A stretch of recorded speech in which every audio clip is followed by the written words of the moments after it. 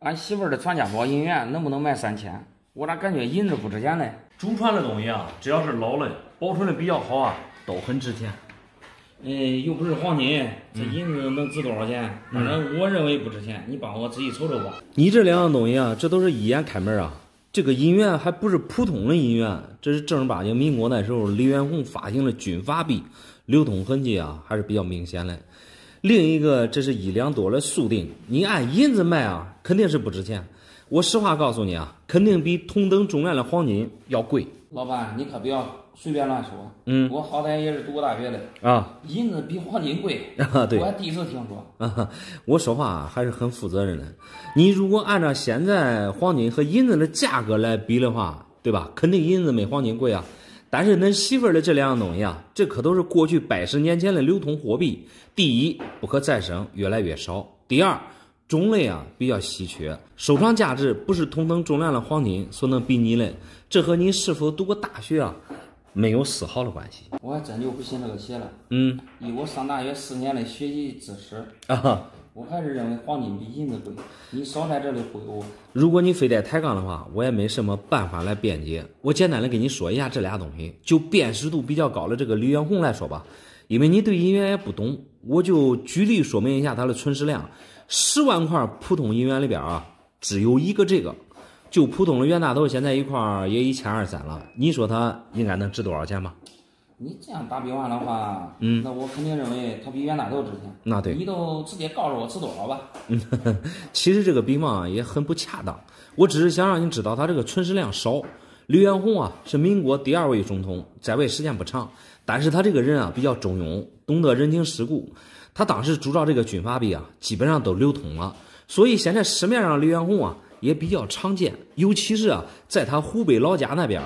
当传家宝的大有人在。现在银元收藏啊，主要讲究一个品相。您的这一块壁面虽然说是无错，但是这个边齿你看一下，流通痕迹啊很明显。我只能说，之前啊家里边人拿出来应该是玩了，不小心摔着了，没有保存好。基本上现在刘元洪带分的价格也基本上也都五六万嘛，而你这一块差不多价格控制在三四万左右。这一块银元我卖十万。对。我这还是不相信，就那点银子能值那么多吗？哎呀，你不相信，你可以把东西放我这儿，你尽管拿着钱走就行了。刚才我都跟你说了，这些这是过去的东西，对吧？不是以银子大小重量来估算的，反而越重的东西啊，它越不值钱了。就像你这个银锭一样，哎，它这一块重量啊，至少是两块银元的重量，但是它在这个银元面前啊，显得就很便宜了。先来看它这个定型，啊。这个定型啊，应该是属于晚清民国啊，那个时候速定也就一两多而已，因为它不是什么锡子定、鲫鱼定，嗯，基本上按现在来算的话，也就二十块钱一颗左右吧，整个锭子也就千把块钱左右。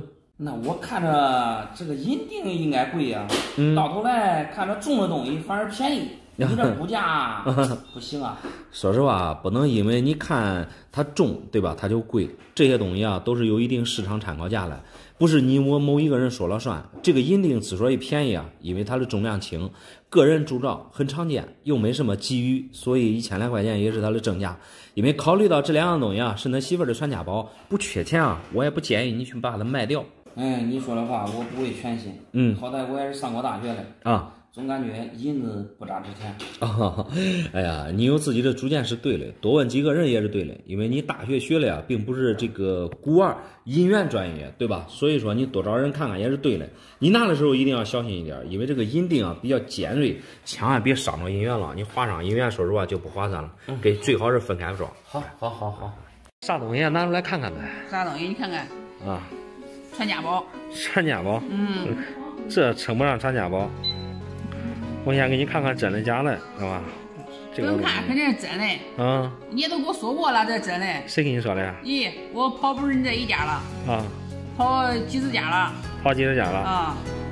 你都给我说真的了。那这个东西看着也没啥问题。嗯，人家给你咋说的？人家给我咋说的？那你也别听人家咋说的，说啥都有。你有啥想法吧？说吧。嗯，说有啥想法，我想叫他呃变现了，不想再放了，就这一块要多了值当的放，这一块不值当的放。我想叫他变现了，买辆车。买辆车，你还跑那么多家了？说实话，你买辆车，别人肯定跟你说卖不了啊。你这想法太高，知道吧？说啥都有，他们都咋说的？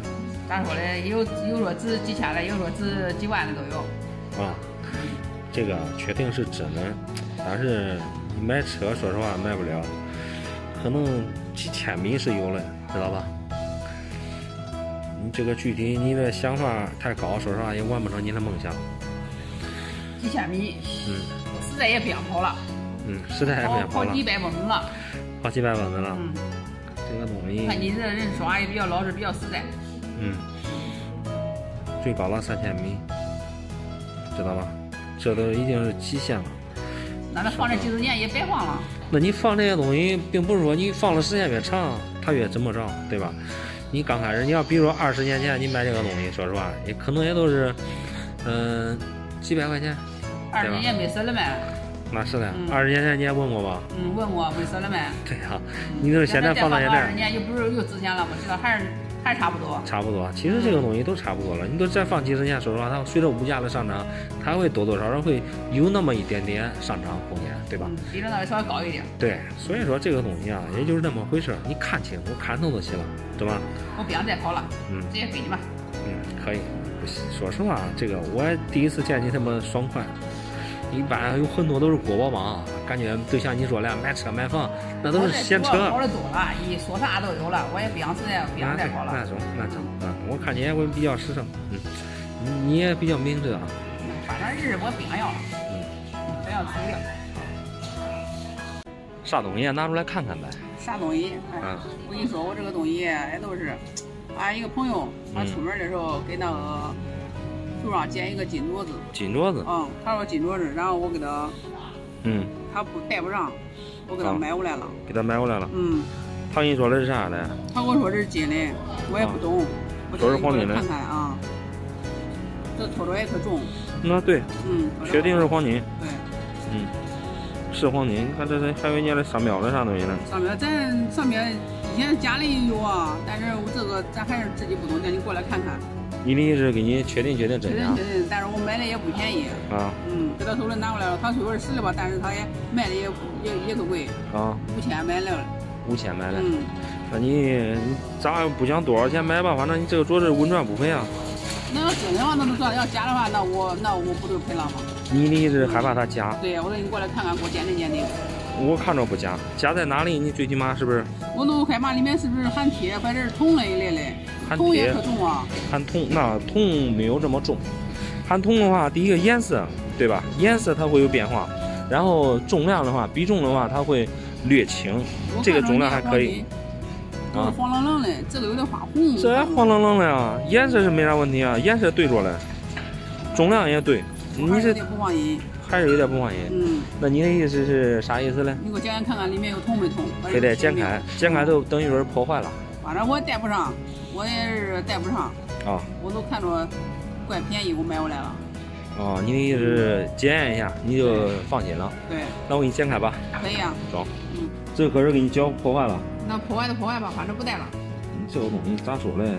就剪开看看是不是黄金，你给我看仔细了，看仔细了，确定是黄金不假。确定了了是吧？对，确定了了，这稳赚不赔啊！那确定了我都放心了。来，咱拿着吧。这个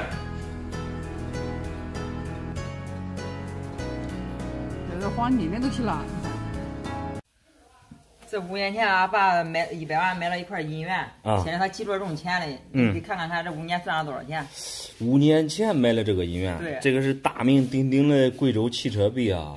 五年前买，只能说你胆子够大。一百万买裸币的话，如果是真的，确实赚大了。第一，五年前那时候啊，银元便宜，你放到现在绝对是有钱赚。第二，你这个汽车币品相状态都特别好，这币面儿几乎是看不到有什么流通痕迹。看来恁爸这胆子够大，竟然敢碰裸币。这跟你说实话，这是俺爸通过俺哥买的，哦，要不是这这急着用钱，也不知道，也不会拿出来卖。那是，嗯嗯，按理说恁哥也不会忽悠恁爸，毕竟恁哥啊也是恁爸的亲儿子。但是话又说回来啊，一百万也不是一个小数目了。一般像我们经常玩银元的啊，通常都为了保险起见，像买这么贵重的银元啊，百分百都会买那种入盒的，像咱国内的公博啊，国外的 NGC、PCGS 带盒子啊，安全才有保证。买这种裸币啊，除非恁懂，哎，俺爸他肯定他也不懂，农村人一下子有一百万，不知道该干啥好。那是。的年前我们这里拆迁，哦。俺爸妈分到一百万赔偿款。哦哦当时我想着一个人分五十万，对。结果俺哥不同意，哦。没想到他背着我，嗯。还是给俺爸买了一个这。啥都不懂就买一个银元，而且还花那么多钱。我说句实在话啊，那一百万当时还不如你跟那哥啊，那俩当时就分了。因为这个农村人啊，大多都没见过啥世面，一下子有一百万也不知道干啥好了。分了啊，总比买任何东西强，不至于啊，急用钱的时候，对不对？再犯难，哎，俺哥当时说，这晃着钱贬值的快，我说把钱把买那东西。嗯嗯他给俺爸灌输了思想，哦就是，啊，反正急着挣钱，嗯。不求赚多少，保本就行。哎呀，其实那哥说的也没错，放钱不如买成东西，尤其是这种军阀币，它发行量少，如果买真的话，这几年不说翻番吧，赚个几十万也是轻而易举的。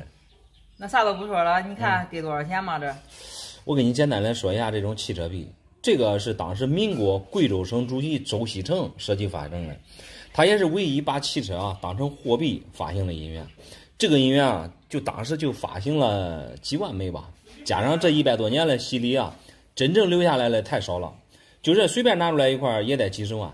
而你这个品相可以说是未流通的状态，如果是真的啊，二百万完全是没啥问题啊。那今天能给我们钱吗？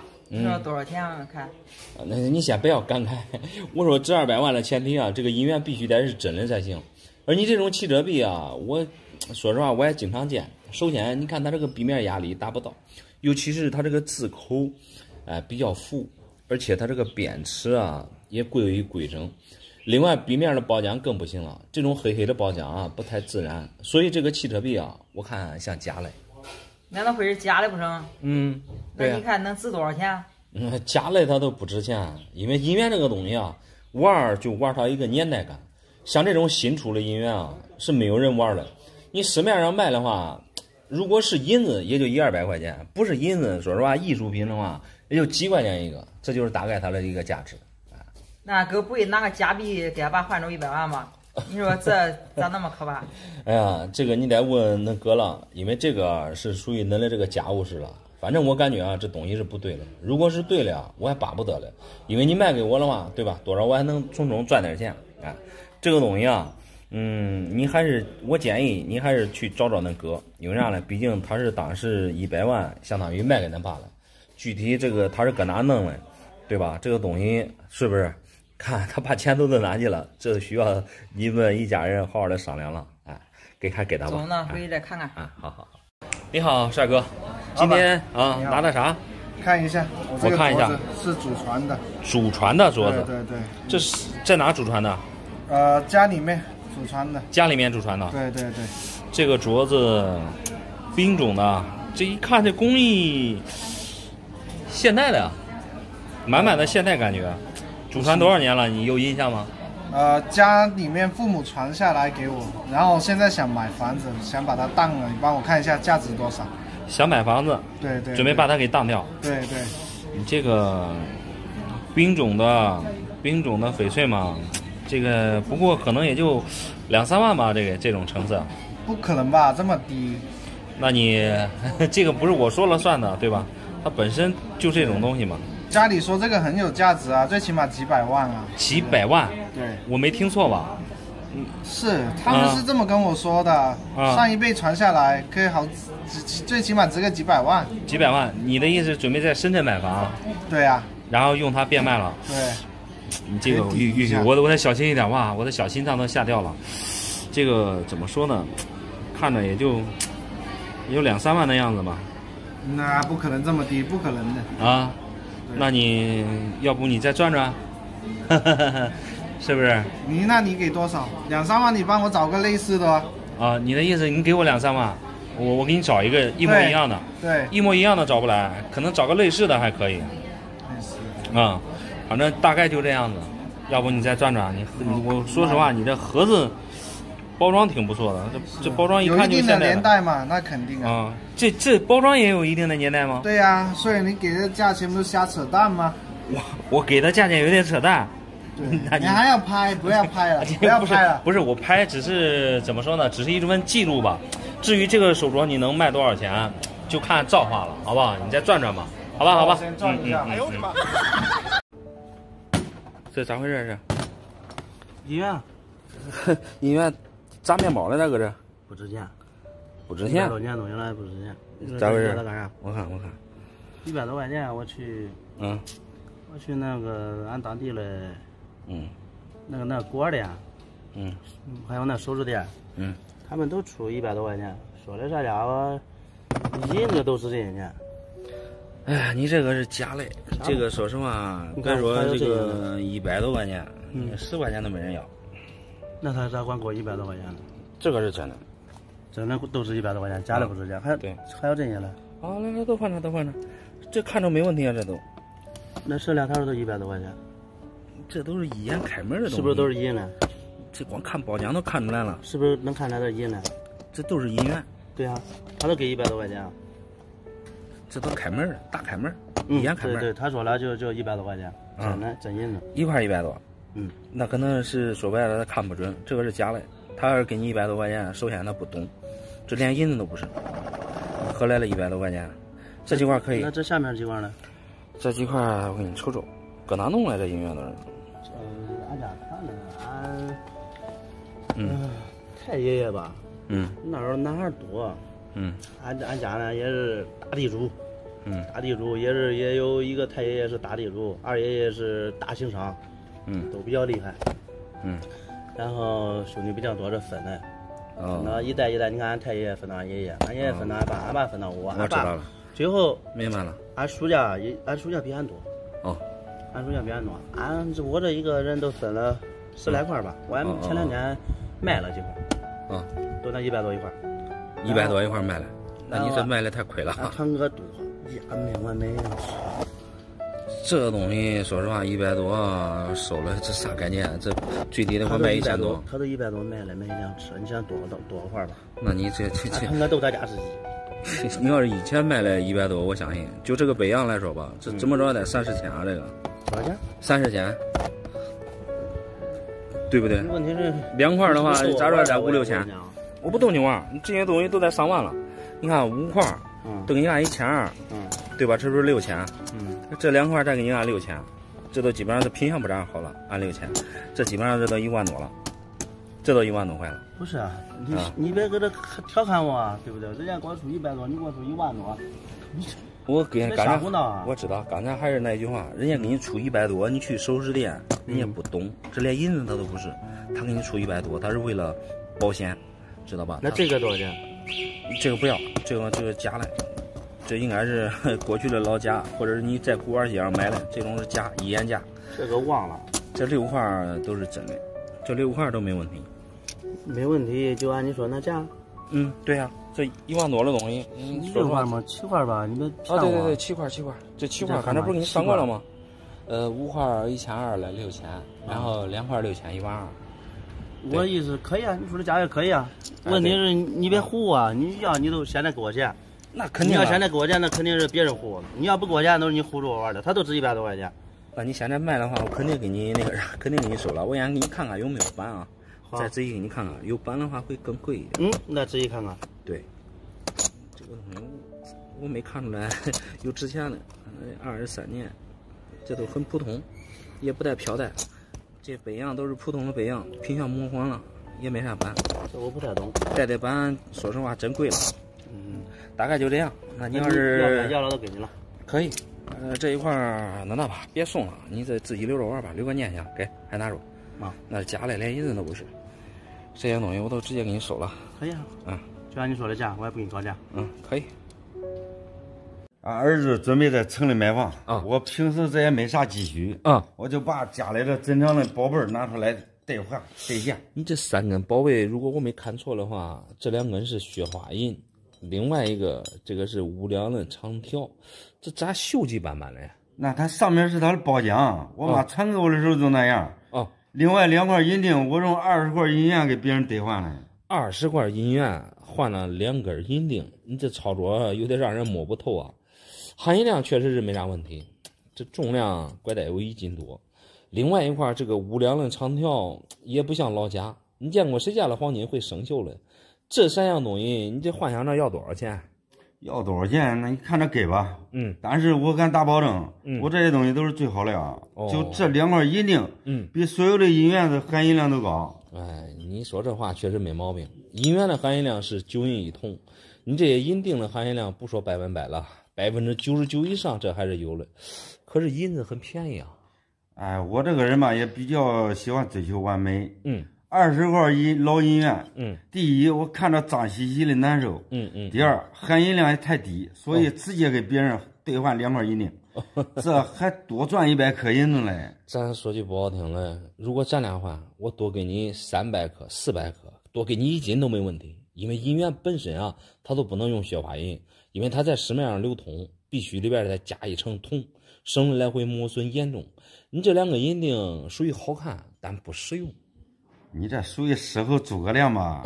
我换都换了，再说你再给我多加一斤，我现在也给别人要不回来了。那是我这属于就事论事，你这种耍小聪明的行为不可取，因为那孩子要买房，你这拿出来要变现，我得把价格给你说清楚。现在银子非常便宜，你这两块的话，我拖着也就一斤多点儿，你就按六块钱一颗来估的话，也就三四千块钱吧。哎，三四千就三四千吧。啊，即使是银元的话，嗯，估计也卖不了几个件儿，因为银元含银量更低。你这种一味的只追求含银量，只能是自欺欺人。银元的含银量再低再不纯，他们也不按银价算。就以我们常见的冤大头为例，通货价一块一千一个，二十块就相当于两万了，不比你这三四千香吗？能卖两万，嗯，真的假的呀？真的我这都给别人都兑换了啊！你这样说有啥意思啊？幸好我还有一块金锭嘞。那算我多嘴了，但是你这个金锭我就看不上眼了，就仅凭外边这生的锈就不对头，因为这种黄金啊，自古以来它是不会氧化生锈的，所以我看不对。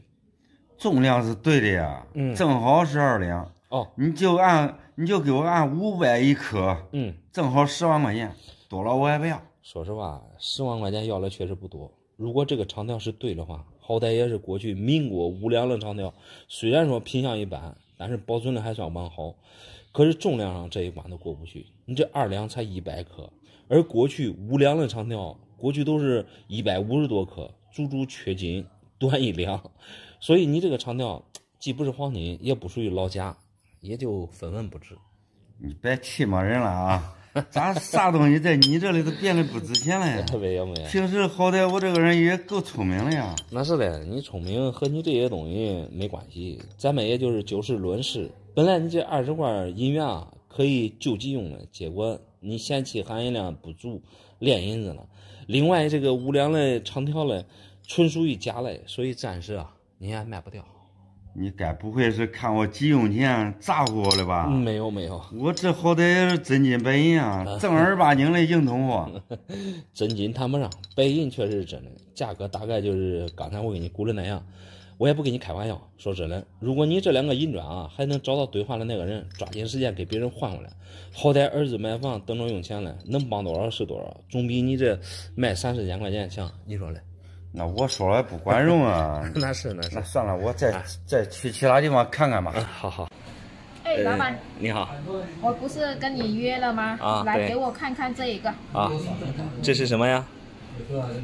在哪弄的？吊坠啊，吊坠，朋友拿过来的。朋友拿过来的，对。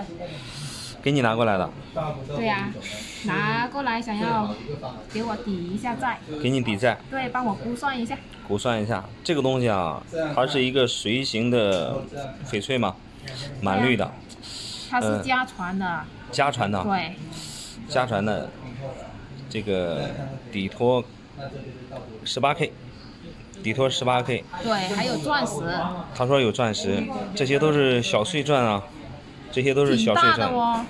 那反正这个东西你怎么说呢？你看着是挺大的，但是你镶在这上面就不是太大了啊。这条项链都是他搭给你的。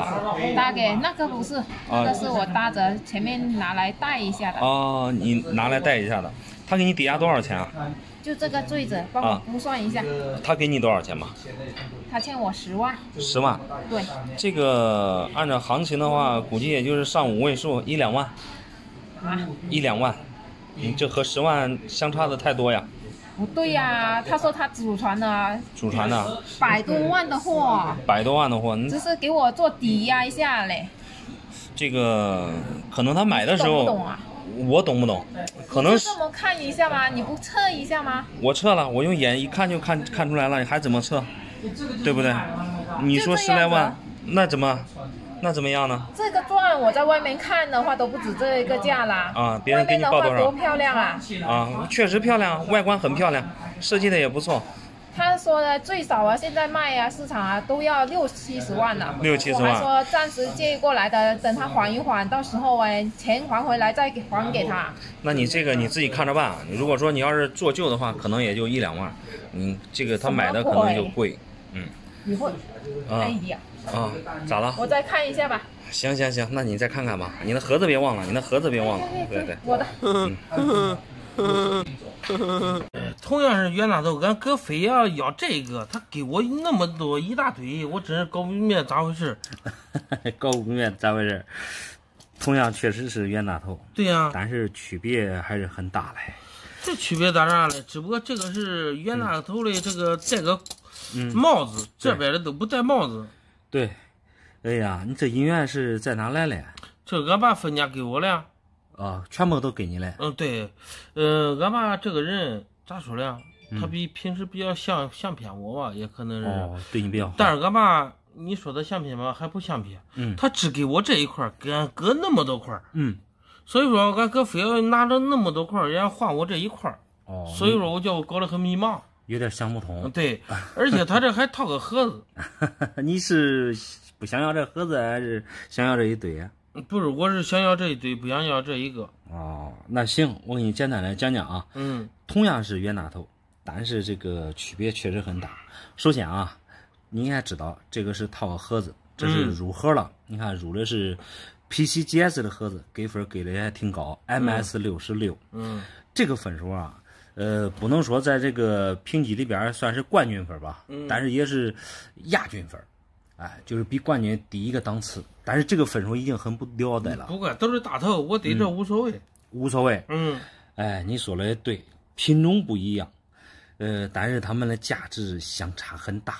首先，就拿你这个来说，嗯，这个是袁世凯戴高帽，嗯，这种是纪念币，你可以看一下，嗯，你看和平纪念币一元 one dollar，它这是以纪念币的形式发行的，发行量很少，明白吧？它没有流通，对，它是过去啊，也就是大人物之间相互这个我也记不馈赠之用。这种冤大头嘞，你看，这就是咱们平时、嗯呃用的一些流通货币，哎，就是相当于一块钱来使用在过去，嗯但是它的购买力还是非常强大的。啊呃，我就这样跟你说吧，因为你既然不懂，我跟你说一下它们的实际价值。首先，这个纪念币它发行的数量非常少，嗯嗯，大概可能也就几万块吧，几万块，对，十几万块。嗯但是你现在存世量可能也都那几万块，品相好的，像你这品相好的太少了。你看你这个是车的状况，嗯，这种啊，就是当时从造币厂做出来之后就没有流通过，你看直接就是开卷开出来了，你看带钻光。这个我真不懂嘞，因为啥嘛？因为这个东西是俺爸，嗯，好像好多年前吧，好多年，具体哪一年忘记不住了。哦俺爸给我买的，说的都要留给我，不给留给俺哥。这就对了，这说明恁爸妈还是比较相偏你的。嗯就这一块儿目前的价值不说多，在拍卖会上就这一块儿就得上百万的东西。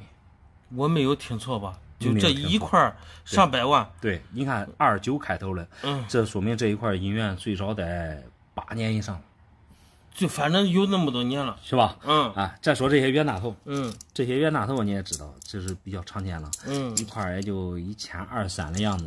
这为啥那么便宜啊？发行量大呀？家家户户都有，比较常见。啊，我说俺哥呀有那么多块儿换我这一块儿，我当时都答应俺哥了。我说嗯哥叫这不碍事的，咱亲俩我叫这个给你，嗯，呃，这这这那么多给我就行。哎呀，其实啊，这个就是因因为你不懂，所以说嗯他们的这个价值决定着未来这个谁拥有，哎，谁就有钱。所以说，恁爸妈对你还是比较相偏的，给你一百万，俺爸妈真是对我太好了，我真没想到给我留个百十万的东西。对，给你留个百十万的东西。这样，既然你现在已经知道价值了，如果说恁亲兄弟俩是亲兄弟俩吧？是挺有没有啥妨碍的话，我建议你可以多少分给他点儿。嗯，那我肯定得不分给他，因为啥吧？因为因为俺哥要骗我，他拿那那么多，他要啊，嗯，他要换我这一块一百万嘞，啊拿着不值钱的东西。你看俺哥也是不安好心，不安好心。嗯，好好好，你主要是不了解，了解了之后你好好的说说吧。好，现在我了解了，我回去跟俺哥说说。嗯好好好。